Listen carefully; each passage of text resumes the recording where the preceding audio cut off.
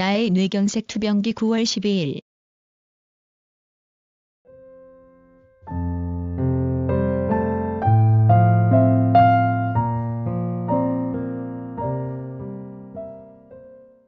일 퇴원을 준비하며 모레면 여기서 나가게 될 것 같다.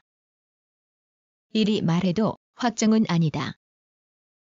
지난 8일 나는 그리하려고 준비했다.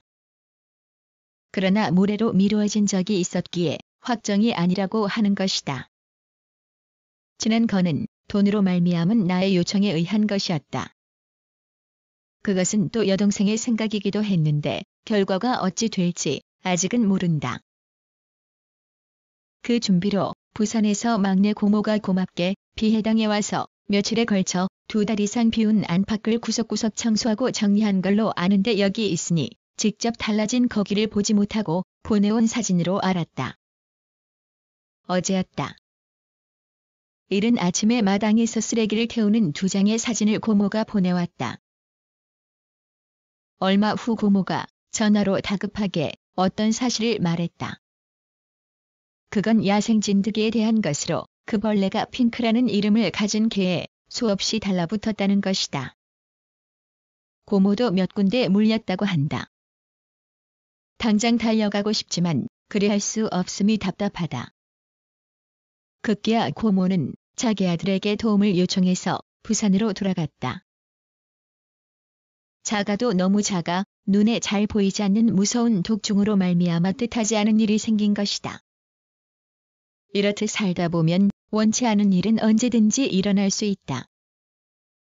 퇴원하면 막내 고모도 함께 보령으로 가기로 되어 있었다. 이것을 두고 어제 여동생과 전화로 이야기했다.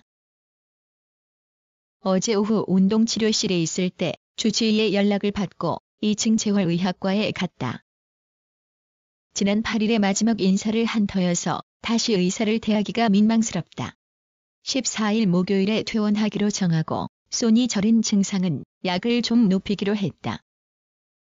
그 약이 지금 식판 위에 놓여 있다. 이걸 먹고 나서의 결과도 아직 모른다. 아침을 먹고 약을 먹어야 하기 때문이고 약의 효능이 드러나려면 어느 정도 시간이 지나야 할 것이다. 또 운동도 내가 요청해서 조절했다. 오전과 오후로 나누어진 것을 하나로 묶어 셔틀, 자전거, 전기만 하기로 했다. 오전 11시 15부터이다. 이런 것들이 모레 퇴원을 위해서 미리 준비한 것이라 해야 할 것 같다.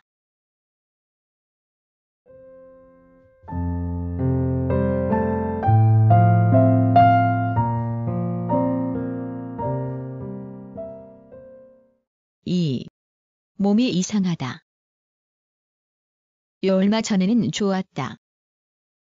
그러다가 며칠 전부터 몸이 다시 원상태로 돌아가는 것 같은 불길한 예감이 들곤 하는데 지금도 그렇다.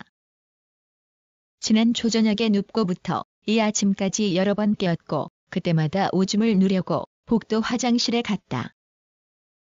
장애인용이 비었는데도 일부러 남자용 화장실 입구 쪽에 휠체어를 붙이고 지팡이를 짚고 일어선다. 조심을 해야 한다. 여기에 오기 전 이미 침대에서 몸 상태를 알았기 때문이다.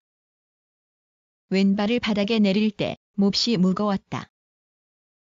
발바닥에도 힘이 잘 들어가지 않는다. 그 전에 어떤 조치를 미리 했다. 지난 8일 외출 허가를 받아 비해당에 갔을 때 어떤 걸 챙겼다. 양은 많지가 않다. 마트에서 파는 바나나 우유 용기다. 거기에 두 가지 물을 담아왔다. 양이 적기에 그날부터 오늘까지 아껴서 사용했다. 왼팔과 왼다리와 얼굴이다. 물티슈에 뿌리고 그걸로 닦았다. 기대하고 생각한 만큼 효능이 없다는 생각도 했지만 아직 단정하기에 이르다. 지금 나는 동관 11층 휴게실에 있다. 휠체어에 앉아서 예전에 코인 PC를 설치했다가 철거하고 내버려둔 테이블이다. 이리하니 침대에서 불편하게 앉아 글 쓰는 것보다 한결 자세가 편하다. 등을 반듯하게 하고 두 발을 바닥에 두었다. 이때 한 사람이 등 뒤에 다가와 궁금해한다. 어르신, 깨알 같은 글씨가 보이니껴? 돌아보지도 인사도 대꾸도 하지 않았다. 아마 그는 나보다 나이가 많을 것이다. 그저 흰머리와 늙어 보이는 얼굴로 그리 말했을 것이다. 여기에 환자들의 잡담이 크게 들리는데 그 사람의 목소리가 가장 크다. 저들이 떠드는 저쪽에 자판기가 있다. 그러나 내 주머니에 동전이 없기에 커피를 먹지 못한다. 환자복 윗돌이 주머니가 얕아서 지갑을 넣어 다닐 수 없다. 그래서 카드를 스마트폰 투명 케이스 뒷면에 넣어 다니며 1층에서 필요한 걸 사기도 군것질도 해왔다. 가끔은 돈을 찾아 넣어 다니다가 여기서 커피를 빼먹곤 했다. 지금은 카드뿐이다. 이제 아래로 내려가야 할 것 같다. 아래는 1층이다. 도중에 멈출 수 있다. 홀수 측문행을 타고 병동이 있는 9층에 내려 낙동강과 시내를 볼 수 있다. 아직 한 번도 그리하지 않았다. 9층과 11층 창밖의 풍경이 뭐가 다른지 궁금하다. 여기까지 쓰는데 왼손이 더는 무리다. 손가락 움직임이 둔하고 손목이 둔하고 어깨 축지가 둔하다. 고로 왼팔 전체가 둔하고 아주 무겁다.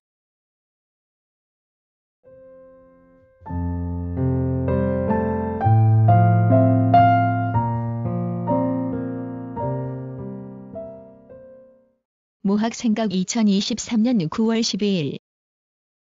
안동병원에서